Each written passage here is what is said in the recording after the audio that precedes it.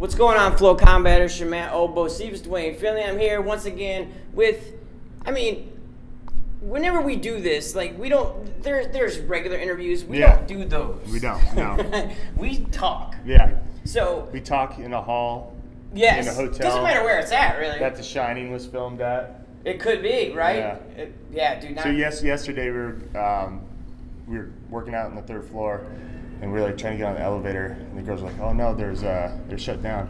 Like, what the hell? So I go down to the lobby, and one side shut down. There's a fire truck. I was like, "What happened?" And I was getting on the other one. He's like, "Oh, yeah." I was like, "Elevator got stuck." He's like.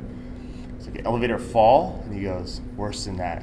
And I go, "Did somebody die?" And it closed, and he was like, so Worse. some- so somebody died in the elevator. well, that's a good way to start the week. Yeah. But That's what I came. My, my conclusion.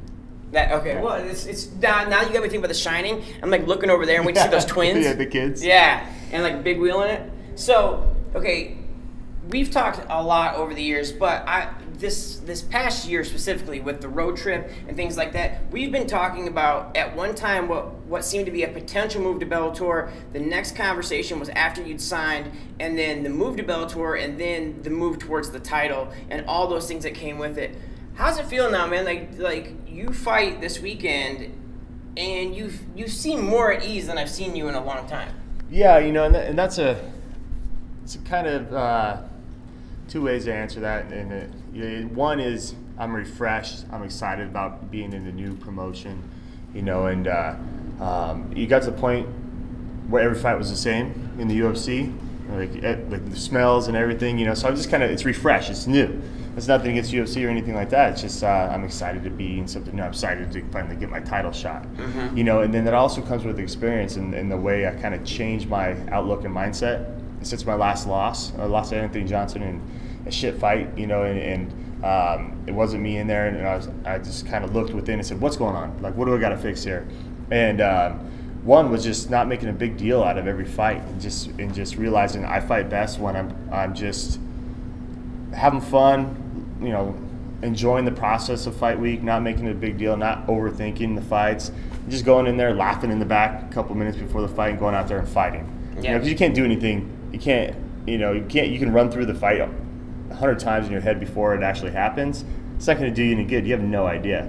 You know, so you just, you just kind of um, just know that you're going to react right, and you- you've trained the right way. You feel good, and that's it. And just have fun with it, and that's all you can do. And so that is the biggest thing about keeping it light. And I did, and I came in with that mindset for Ilir Latifi and Nogueira. And you know, I have two stoppages. In my last two fights were two top ten guys in the world.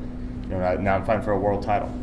Now, you know, you talk about like that that old that other chapter and it felt like no matter what you would have done, you were stuck, you were just another cog on that wheel that was going to get played whatever way. Like, you know, this is just call it what it is. You got used in the DC situation. Yeah. For a, a, a- you know to, to push that fight that with Jones or whatever, however it happened.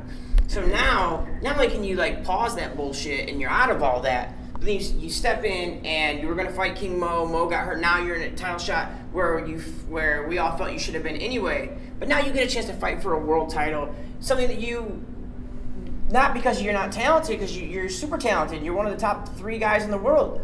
But now is it good to not have to deal with that bullshit? Yeah, no, for sure. Yeah, you know, you uh, kind of hit it on the head there. You know, as far as like being a cog in a wheel, and you're just kind of filler a lot of the times. You know, unless you are those those big stars, you know, you you're just kind of put in to fill these cards, really. You know, and that's it. Um, and for me, I that's when my, my mind kind of switched. Was after um, Gustafsson got the title shot off a knockout loss. And I was like, "What's going on? For real? This is this is happening right now?" And I was told, "You know, go win your next fight, and we'll get your title shot. Win it the next fight, and then oh, we're putting, you know." And so then I was like, "I'm not gonna, yeah, I'm not gonna think right? about this anymore. I'm just gonna go fight my fights." And then when my contract. Uh, uh, really much, you know, really my uh, last fight came sooner rather than later because I took a short notice fight. Gustin pulled out, and that was my last fight. Um, and I slipped in versus Nogueira. And he came and said, "Hey, we'll sign a new contract." I said, "I'm going to fight it out." Actually, went and fought it out. Loved what Bellator had have to say to you know Scott Coker and Rich Chou, and uh, you know here we are. And then I'm, the next day after I signed, they came out that we're having a fight in Madison Square Garden in New York City. I wanted to be on that card, you know, and uh, slated for King Mo, and all, everything just kind of worked out and uh, I'm fighting here and for the belt. So Yep. it's uh, I'm just excited, and that's why I'm loose and. I can't do anything else. There's no added pressure or anything Mm-hmm. because every fight there's a lot of pressure. But at the same time, my mindset now is like, whatever. Like I'm, I, why make a big deal out of it? I'm gonna go fight. I know I fight my best this way in this mindset. So everything is a cherry on the top once you get that win. You know the belt and everything. You know I get to enjoy Madison Square Garden and the belt after the fight, sitting in the back watching the pay per view card. You know with the belt right there. Mm-hmm. Yeah. That's when it sinks in. Yeah. You know, for me right now, it's just another fight. Yep. And, and you know, it was brought up today at a press conference, and I truly, honestly feel this way. You, you and I have talked about this a bit, and I, I've said that the momentum is changing in a big way in this sport. And I feel like this weekend in particular, Bellator not only can take that step forward uh, and, and- make up a ton of ground in this race between them and the UFC, but also become an in, become an industry leader in a lot of ways. Like, you know, for years when you were at the other place, there was a huge gap. That gap's not existing anymore. Yeah. You know? I mean, look at this card right here. You know, and, and uh, you know, if you look at the media and uh, you know even MMA message boards, you know, you never really heard anything about Bellator, and this weekend's going to change that. Yep. You know, you hear people, you hear the chatter, you know, and you hear Yep. people um, excited about it and, and wanting to be a part of it. And I'm excited about it. I, I'm excited to be a part of something that I can help grow. Yes. You know, and and and put in the limelight, and they can, they, and they and they'll reciprocate. You know, Yeah. they'll uh, they'll push me and they'll uh, um, get me out there, and, and so I want to represent, you know, not only myself, but I want to put on a good good fight, win that title, represent Bellator, and help them go to the next level, which I know they can be at, you know, um, this weekend. Yeah, well, uh, and the thing I guess is not often mentioned in this sport, at least on my side of it, is to see the type of media that's here this week. Granted, it's it's a big card, but there's a lot of sites that are here representing that could face repercussions from the UFC because mm-hmm. that's how they work. You know what I mean? Like, okay, well, we're having a show in Oklahoma, and you went there, and not not the fact that it's a bigger card with bigger names, but that's what I mean. The tide's turning where the and you're a big part of that. Like your you your free agent signing was the biggest free agent signing. I don't care what anybody says. It, it was the biggest in the sport mm-hmm. we've ever seen. You never saw a, a, a, a top three guy test the market and be willing to, to go what's best for him. Yeah. Because you always see it off guys who Yeah. have losses, right? Yeah, and I, you know, and uh, there's always a, a thought here and there, but you always played the safe route, you know, and st- stuck with the UFC. And there's still goals that I wanted to uh, achieve in the UFC. I still wanted to be champion and everything. And so when I kind of realized that it was going to be one of those things where I literally had to beat every single person on the roster to, to get that shot when other people were just getting plugged in and plugged in and plugged in. You know, for me, it was one of those things where I said, all right, this, now now's the time, you know, and uh, um, in the past you didn't do that. There's nowhere to go really, you Yeah. know, and now uh, that Bellator is, you know, it's, it just ran right and it, they're doing the, the right things. And that was one of the things, you know, I wanted to make sure that, you know, and I asked Scott Coker and Rich Chou, where's Bellator going? What's the plan for Bellator, you know, and, and they had great answers and, and what's the plan for me. And so I felt like I was part of something. Yes. Like you said, not a cog Yep. in a wheel. You know, so for me that was that was that was huge. And so, you know, for I hope it opens up the minds of other fighters, and you're seeing that right now. A lot of a lot of guys Lot are fighting their contract out and saying, the, "All and a lot of guys are speaking up. Speaking up. Where they didn't before, right? And it takes that little bit, you know, that that water leaking out of the dam until all of a sudden the Yep, or, or the Boom. spark yeah. to start a fire. And that's what I'm saying. I, you know, there was no lack of importance that with with you testing the market.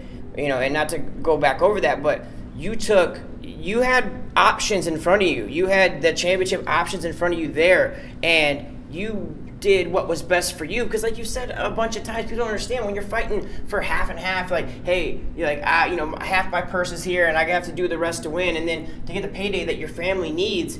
You know, it's gonna change the way you fight. It's gonna change your mentality. Yeah. But especially, you- you're a lifetime competitor, man, and and you've never been wanting mediocrity isn't something that's ever Right. been in your blood. So you you're like, hey, yeah, I want to get paid, I want to win fights, but I want something bigger. Yeah. And when that chance for something bigger, the road's out there is, is, is clouded and fogged, then that ends up being a bunch of bullshit. Yeah, and I, don't- I don't want to be contained either. You know, um, you know, I'm not to go into specifics in my contracts, but I, you know, with Bellator, but I have, you know, bonuses I can achieve, and and uh, you know, the the sky's the limit really. Where in the UFC, you know, I'm at my if I lose, I'm just at my show money. You know, even if I put on a great fight, you know, you may get a, a fifty thousand dollar bonus, you may not.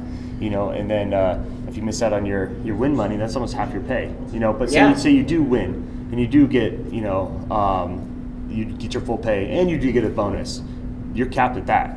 You're not Mhm. getting anything. It's not like I have pay per view. You know, I haven't fought on pay per view forever anyway, but it's not like I have bonuses in there. So Yeah. with Bellator, I have these these bonuses and these uh, you know uh, kind of milestones to achieve that I can my I can earn as much as you know what I put in there. You know, And and that's if- and those are those are motivating incentives, Mhm. right? Yeah, you know, my I have a great um, a great purse, but those those bonuses are in there, and it's just motivation for me to Mhm. go out there and achieve achieve those, you know, and, and then it opens the door um, where I can get sponsors, and I'm not limited to a capped amount of sponsorship money Yeah. too. It, you know, if I do it right, I can go make a, a very good amount of money in the sponsorship game too, Mhm. you know, and so um, I looked at all those when when um, looking at different promotion, but I also looked at you know the the treatment you know and um, respect levels you know Mhm. i went to my first bellator in chicago Yep. and it was it was crazy i, I brought my wife and we were, it was just Who's awesome, by the way. Yeah, Daisy, you. Daisy Bader is a fantastic thank woman. you thank you You've done well for yourself, I. I have i have and uh, but we had a great time and treated with respect and, Yep. and uh, um, same here and so it's just cool to see and then i come here and then we're fighting in madison square garden we're in new york you know i go to media day and uh, you know i didn't know what to expect i've never Mhm. been through a fight with, with bellator and everything's is as big or if not bigger than Yep. ufc you know Yep. i've been fighting on uh, fight nights my last couple of ones and and uh, the media room over there at Viacom was was crazy. You Yeah. Know? So it, it was a, it's re- refreshing and I'm excited and it's just a, a brand new uh, chapter. Mhm. Now let's talk about this fight with Phil Davis. Now you and Phil fought before. Uh, you know, one thing I've always li- liked about the, your approach, Ryan, is there's always there's always a steady. Uh, I would say like the process of progress, right? Yeah. Like you you could rely on your strengths. If, if that's all you want to do, but you never rest on your laurels, right? Uh, footwork, head movement, you know, the things I've seen you combine over the years and we've talked about. When you look at your game compared to what you've seen from Phil watching tape, um, we've noticed that Phil's, you know, found a little bit of power that he didn't have before. Uh, his striking's developed, but he's also, but he's, he's, you know, pure and bred wrestler. Yeah. When you look at this matchup with your two evolved senses, both you guys, how do you see this thing playing out? Yeah, I just I just feel like I've evolved more. Not not just from our our first fight because that feels like forever ago. Mhm. You know, but I, you know, I didn't feel good about that fight, and uh, neither did he. You know, and so uh, uh, I want to show everybody how much I've grown since then and, and what I'm bringing to Bellator here. And but I feel like I've grown a tremendous amount from November to right now. You know. Um, just new coaching staff. I'm drilling, in which something I really didn't do too much of. Uh, you know, I'm I'm diving into those techniques and whatnot. Mhm. You know, whereas before it's almost like warm up, let's go live and, and get it done. You know, um, but I'm putting in that work, and I feel like I've evolved so much from even my fight with Nogueira to right now. I think Yeah. I think that biggest block is where I've evolved the most in the past five years. Hmm And another question is kind of a story that didn't get a lot of uh, pop, but it, it did once we got on Flow Combat. Um, Renan Barao uh, and his coach. Like uh, the interview was with Coach Ped- uh, with Dedé uh, uh, Pederneiras, and he said that you know somebody asked him about uh, uh, what's the coach? Jair. Yeah, coming to power, taking Renan, Yeah. and, and, and he said. He said, "I would encourage all Brazilian fighters Yeah. to do the same. Yeah. Like you can't. Brazil is, is done. Like Yeah. you can't get the training you need in Brazil, Yeah. and you need to go in a place like Power that that can give you all the training you need. Yeah. How'd that feel for you to know that you've created what you guys created just a few years ago is now something that people are like, man, like that's where you need to go. Yeah, no, it's awesome, and bringing him in, you know, and uh, um, we're actually changing the location. I just bought a building to bring Mhm. in the uh, uh, the new Power MMA, and so that'll be open probably around in July, August, and, and we've been training in this uh, big wrestling facility right now, the whole fight team, and uh, to watch Barao and everything and learn from him is awesome. But um, you know, that's what I was talking about with Jair coming up, and and uh, he's a good guy, good person, and he's an amazing coach as far as breaking everything down. He's a whole package, and so. Um, you know, bringing him up there and, and, and the following he has and the guys that he Mhm. pulls up there. And, uh, you know, just little stuff as, as far as like a striking coach. He was asking me, you know, um, what are you thinking of, about striking coach? I, I think I need somebody else in here. And I said, all right. He's like, me, just hold on a couple days. I'm to I'm gonna make a phone call. And got this, uh, his friend up here, Rafael Gomez, who's worked with Aldo and a bunch of the guys. And flew him up here and worked with him, and he came with a stack of notebooks of uh, keys to victory on Phil, what we're working on. And so we're working on combos that I'm actually going to use in there. Working on if he does this, we're doing this, all down the Mhm. line.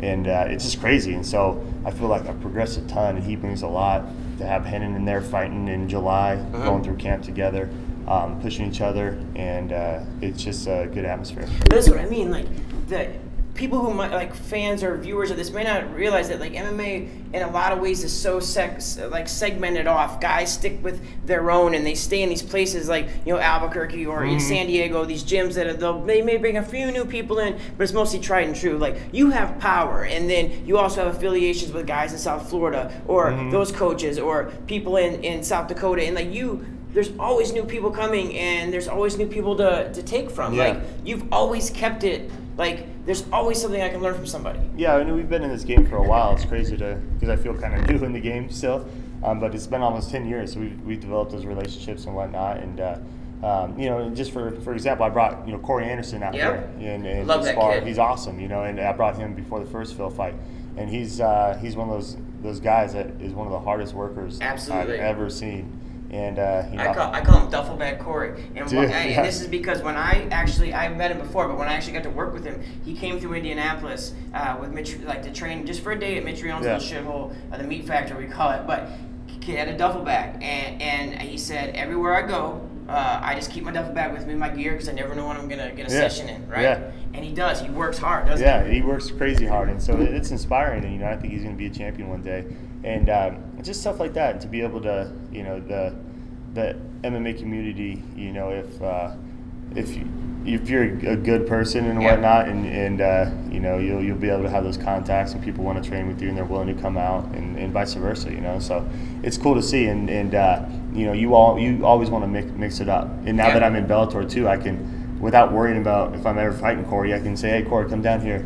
You Yeah. know, and uh, let's get some good rounds in. And two best, two top five guys in the world. Yep. You know, so it's cool. It's definitely uh, we like to mix it up. And before my last question, I gotta take this. I gotta because I because I have experience. I know a little about this hat you're wearing, right? Yeah. So not only are you, uh, you know, an elite fighter, but you're also a businessman. Yeah. And there's a lot of your business acumen that the, the power MMA gyms, Mhm. the you know, uh, uh, Cytosport, Monster Milk, Yeah. those things that you've you've even though you couldn't like tout those relationships because of the Reebok deal and things like that you still carried on through Yeah. with with uh, like American Ethanol and things like that. That you've always been, uh, and all the work you've done with the military, man, it's been fantastic. And I know these things because we know each other outside of this, Yeah. but also I've been able to tell that story and to see your commitment. But let's talk about Juby. Um, you know, there's a lot of uh, not to get political on anything, but there's a lot of this, you know, uh, doctors how they, you know, like like. Uh, uh, what do you call it, like the Adderall, things like Mhm. that. Like there's a lot of you know people that get put on this stuff because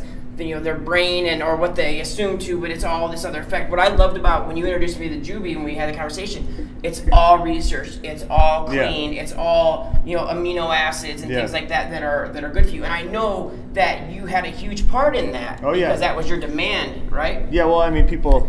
Um, I, I always like to diversify, and you know, I'm not just a mixed martial artist. I love competing, I love training, but you know, um, I, I also love getting stimulated different ways, and one is business, and and uh, people say, oh, it's such a sponsor of yours, and no, like from the ground up, we built this company, my brother-in-law and I, and uh, you know, we, we wanted to, to do something. We wanted to, um, you know, right now we have just a little two-ounce shot. You know, it's, Mhm. it's for uh, focus and stress relief, and and. Uh, But it also helps you, like it's, it, it helps you sleep too. Yeah, like at the same time, yeah. Peaceful, restful sleep. So it's not like one of those. Like, it's not an energy drink, Exactly, and yeah, it's so not. It's something and, else. Uh, people almost say it's like medicine, you know, and so we we sell it in all Circle K's for about five thousand stores nationwide, but we literally went from the formula and added stuff to it, took away, you know, had our uh, um, you know our chemists and, and the scientists behind it, and then we just started trying to get it out there, and, and we did it all, you know, from bootstrapping in the ground up, you Yep. know, and uh, I, I go to the we have an office in Arizona, and when I'm when I'm training, I, in between training sessions, I go to the office, you know, and and uh, um, so it's not just a sponsor. I'm in it, and I'm, I'm the Yes. CEO, and my and my uh, my brother-in-law's there, um, doing the same stuff as, as I am, you know, coming out with different stuff, pills and whatnot.